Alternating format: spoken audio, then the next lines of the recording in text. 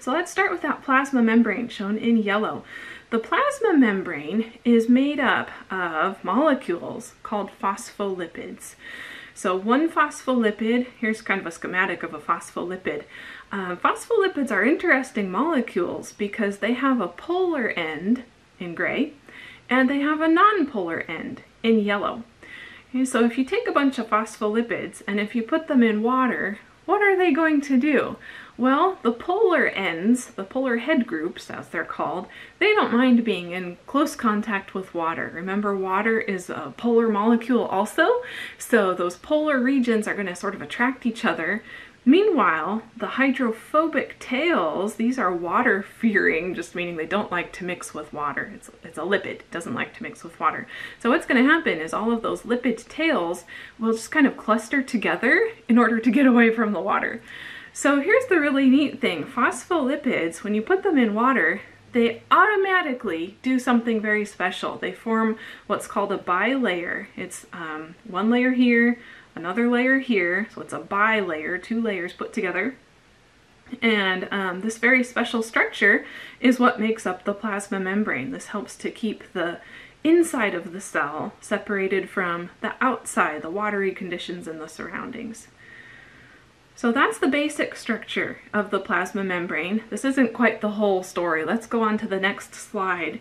Okay, so here's a more complete picture of a plasma membrane. So we've still got all those phospholipids. They're shown kind of in that uh, burnt orange color in this picture. But we also have other molecules embedded in the membrane. And what these other molecules are, um, a lot of them are proteins. And what they help to do is regulate traffic across the membrane. So this cell, it needs to be able to exchange materials with its surroundings. Um, for example, it needs to be able to take in fuel molecules like glucose, and it needs to be able to get, get rid of waste products. So things have to be able to move outwards also.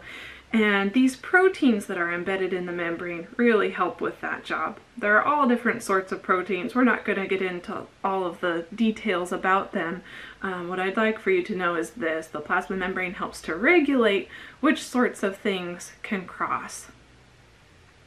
We say that the plasma membrane is a fluid mosaic, and the reason that it's called a fluid mosaic is because these molecules, the phospholipids, they're free to slide past each other. They can sort of change places, slide left and right, back and forth. Um, they can they can move in that sense. It's not like they're locked in place.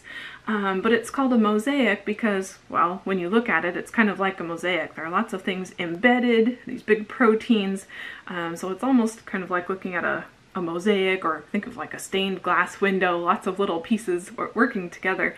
Um, but interestingly, the, these molecules can slide around and, and change positions.